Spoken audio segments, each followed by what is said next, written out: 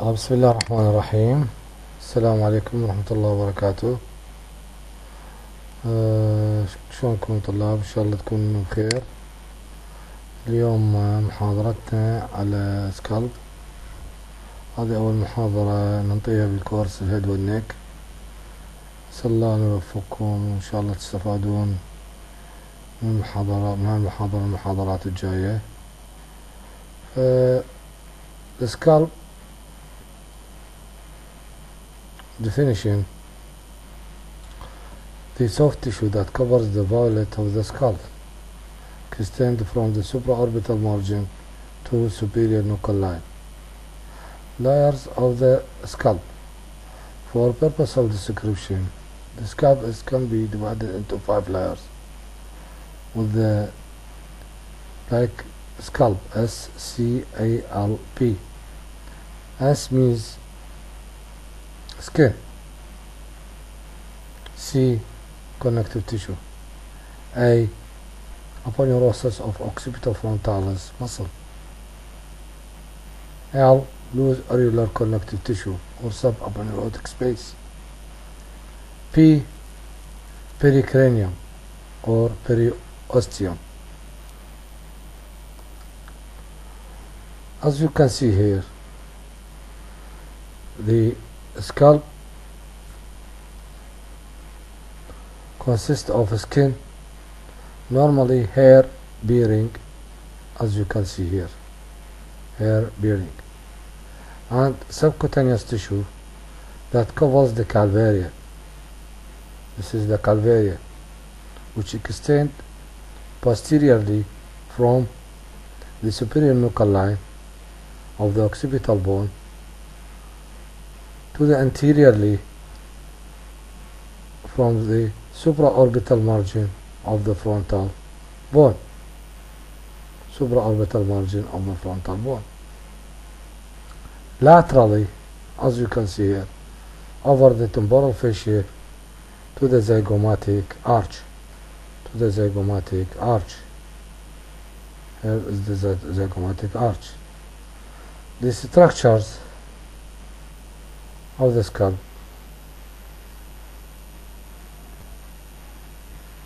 as I said it consists of five layers which I said that in the previous uh, slide. It consists of the connective tissue this is skin the connective tissue as you can see here the connective tissue is the fibrous septa connect the, the skin to the underlying aponeurosis of the occipitofrontalis muscle. As you can see here the skin to the underlying occipito aponeurosis of the occipitofrontalis muscle. This is the connective tissue.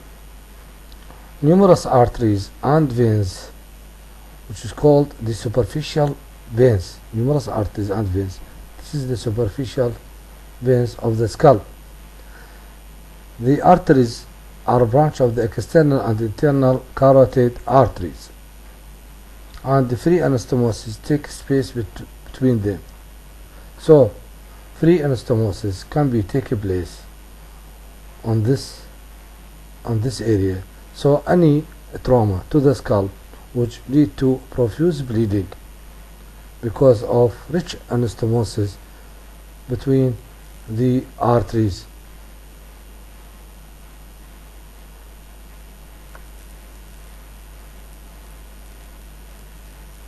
The aponeurosis.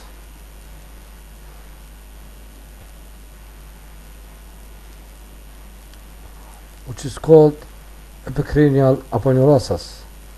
Epicranial aponeurosis as you can see or galea aponeurotica which is thin tendons sheet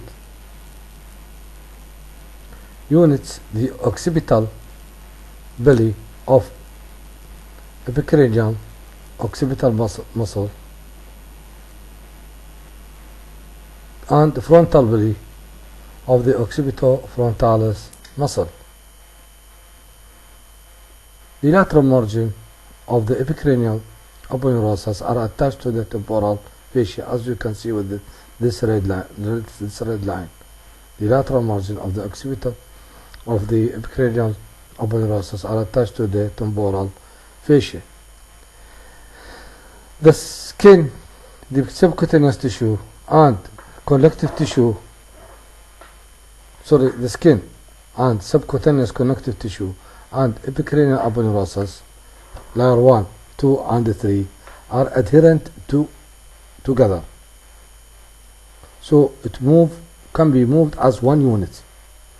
Three layers skin subcutaneous connective tissue and epicranial aponeurosis so this is moved as a one unit.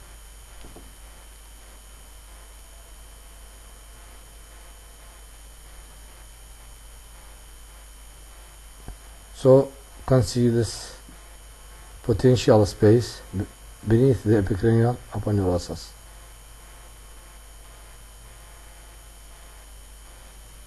This potential space, this potential space is called subaponeurotic space, subaponeurotic space. So this space is called subaponeurotic space which limit in front and behind by origin of the occipitofrontalis muscle. By occipitofrontalis muscle. And extend, laterally as far as the attachment of aponeurosis of the temporal fascia. Occupied by loose areolar tissue. This is subaponeurotic space which is occupied by loose areolar tissue.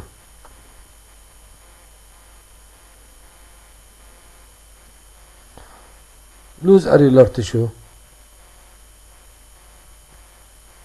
as you can see here, occupies subaponeurotic space, loosely connect the epicranial aponeurosis to the periosteum of the skull or pericranium. Contain few small arteries and contain some important emissary arteries. This is emissary arteries. These arteries connect the skull to the underlying structures or the venous intracranial sinuses, intracranial venous sinuses. So any infection in the skull here may be transmitted inside the skull or intracranially by these emissary veins. Emissary veins.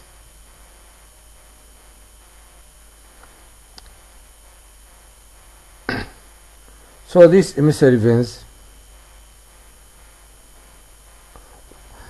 this why important emissary veins? We have many emissary veins like frontal emissary veins, parietal emissary veins, occipital emissary veins, and mastoid emissary veins.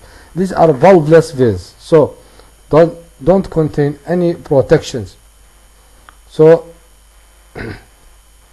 they connect the superficial veins of the skull with the diploic veins of the skull bone and them through with the intracranial venous sinuses as I said just and this is the pericranial upon or pericranium or periosteum the fifth layer is the pericranial or periosteum which is cover the skull bones outer surface of the skull bones. And this continuous the pericranium continuous with the sutures inside the skull. This is the outer side and this is the inner side and extend with these sutures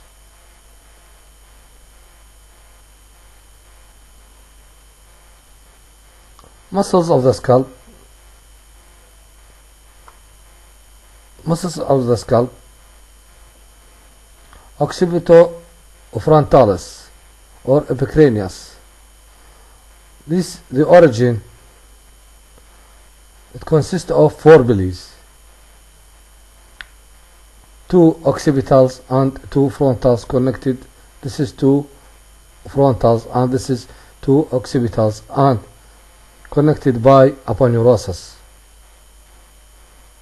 The occipital sm- are smaller and is usually connected from the highest nuchal line or superior nuchal line, while the frontal bellies are larger and closer to each other in the midline, and they arise from the skin and superficial fascia of the eyebrow and backward to be attached to the aponeurosis.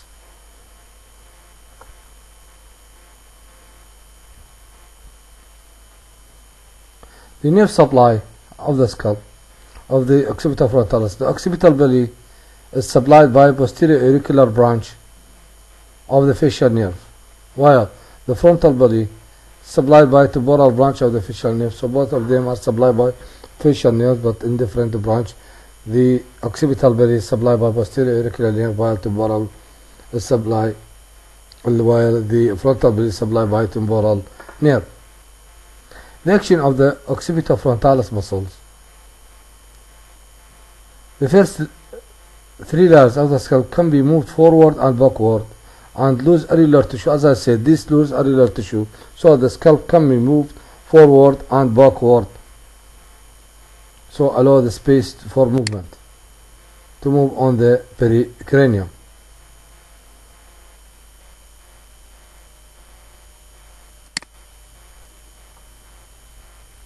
As you can see here, this, as you can see here, moved forward and backward, just layer 1 and 2.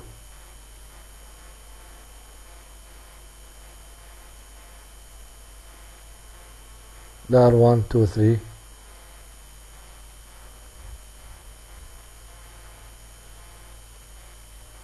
So move together.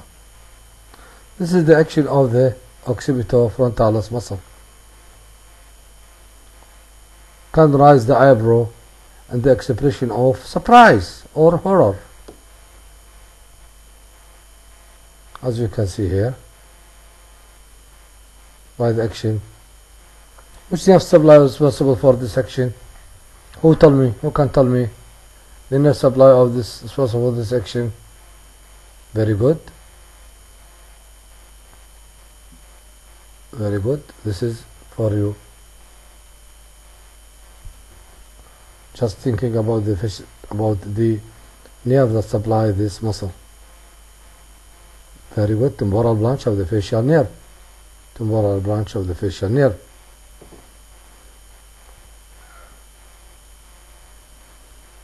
Sensory nerve supply of the skull.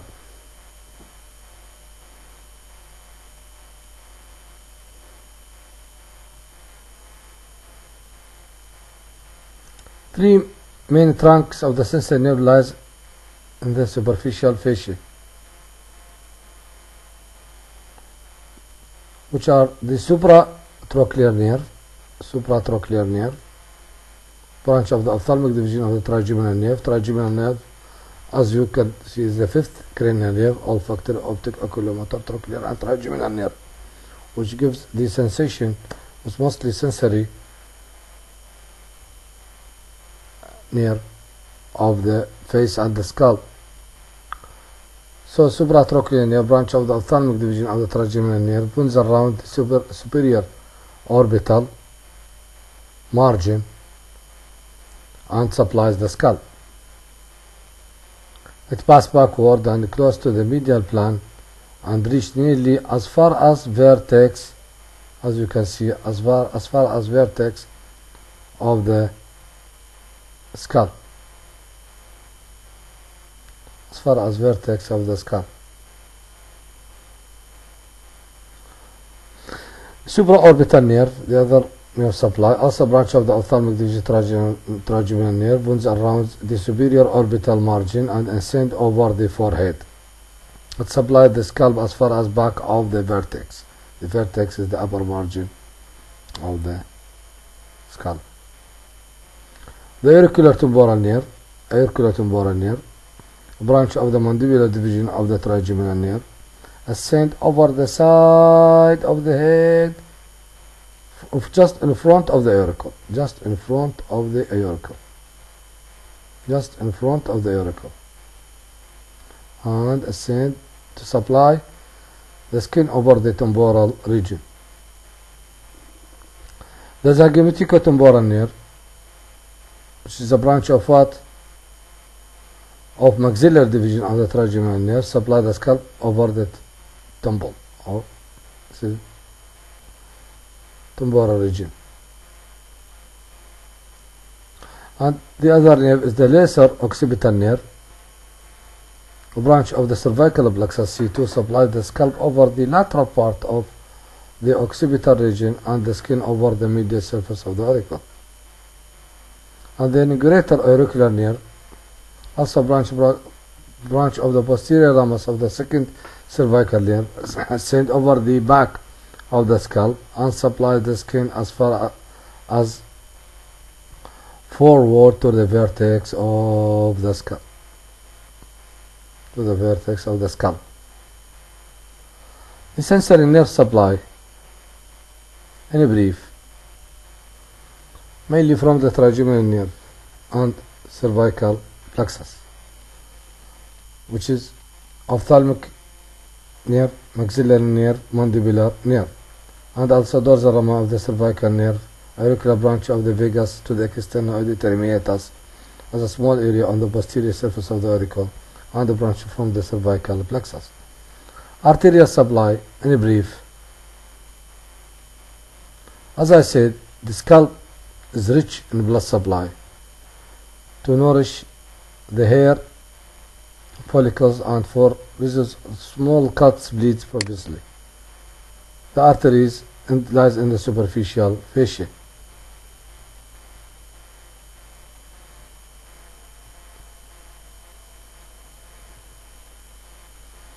The supratrochlear artery and veins, supraorbital arteries and veins. These are a branch of the ophthalmic artery ascend over the forehead and accompany with the supratrochlear and supraorbital nerve. Superior superficial temporal artery and veins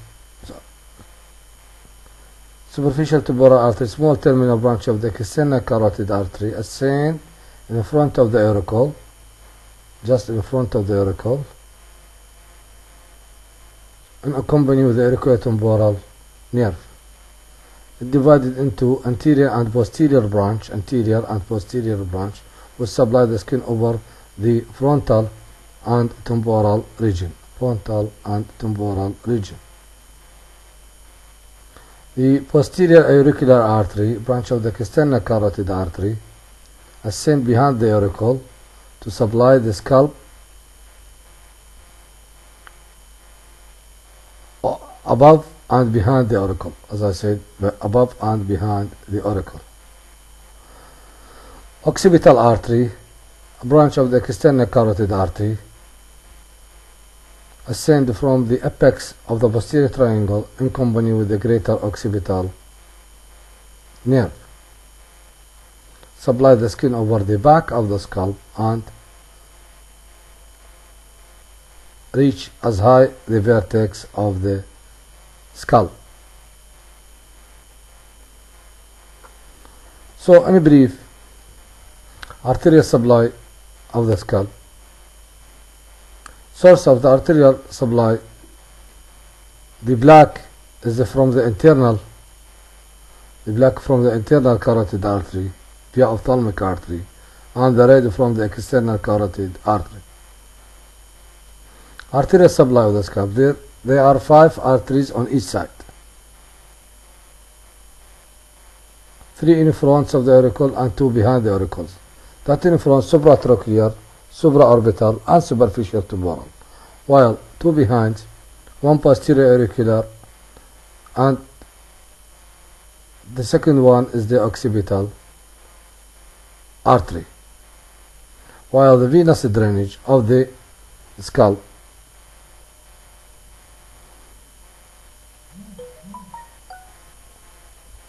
The veins of the skull freely anastomosis with each one another.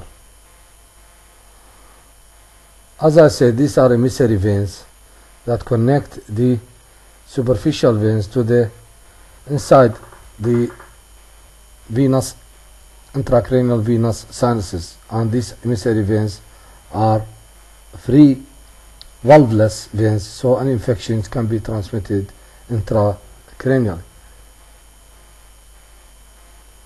These veins connected to the diploic veins of the skull bone and the intracranial venous sinuses valveless emissary veins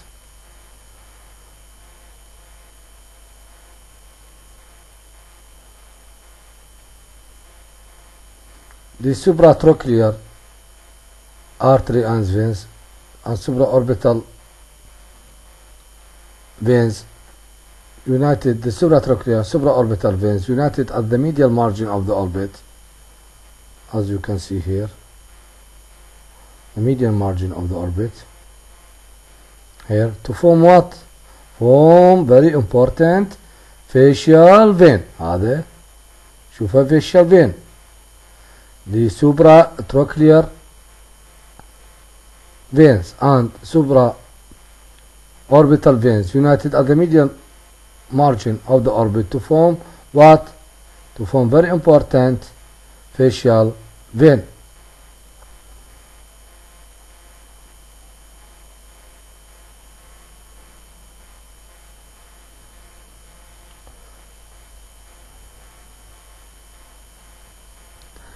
The maxillary vein the superficial temporal veins. With the maxillary veins superficial temporal veins with the maxillary veins. And the substance of the parotid gland here. To form what? Retromandibular vein. Retromandibular vein. Uh, in the previous slide just supratrochlear veins and supraorbital veins united to form what? Facial veins while the maxillary veins and superficial temporal veins united together inside the parotid substances. Parotid gland substance. So it form retromandibular vein. The posterior auricular vein united with the posterior division of the retromandibular vein just below the parotid gland to form what external jugular vein. This is very important anastomosis of the face. The occipital veins drain into suboccipital venous plexus which lies beneath the floor of the upper part of the posterior triangle.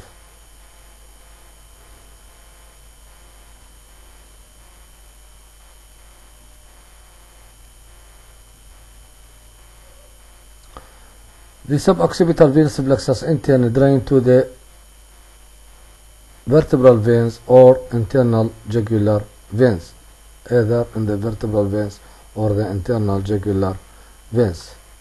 Lymphatic drainage of the skull. Lymphatic drainage of the skull. The lymphatic either in the anterior part of the skull on the forehead, the anterior part of the scalp on the forehead, drain into submandibular lymph nodes. While these lymph nodes, while the lateral part of the scalp, above, just above the ear, drain into superficial parotid or pre-auricular lymph node. Here is the pre-auricular lymph node. Lymph vessels in the part of the scalp above and behind the ear, just above and behind the ear, here above and behind the ear, drain into mastoid lymph nodes. And posteriorly, or back of the scalp, drain into occipital lymph nodes. All these lymph nodes, which are submandibular lymph nodes, preauricular lymph nodes, postauricular lymph nodes, or mastoid lymph nodes and occipital lymph nodes. All of these are drained into deep cervical lymph nodes. We should know we, the lymph nodes is very important. The lymph nodes is very important. to know the site of the lymph nodes and drainage of the lymph nodes because any infection on the side of the scalp on the face this will drain into the same lymphatic supply or the same region of the lymph nodes so any enlargement of lymph nodes like in the submandibular region. Means that the lateral part or anterior or face or the interior part of the scalp and the face is drained into retro uh, submandibular lymph nodes while the posterior scalp drain into occipital lymph nodes. So any enlargement of these nodes means that there is an there is a disease or infections or uh, any for like uh, maybe tumor and this region will lead to uh, inflammation or to enlargement of these lymph nodes. So we we have to know the uh, lymph nodes of the scalp and the face. Thank you very much. If you have any question, if you have any question, I will be ready. Please just email me and thank you very much for for the listening.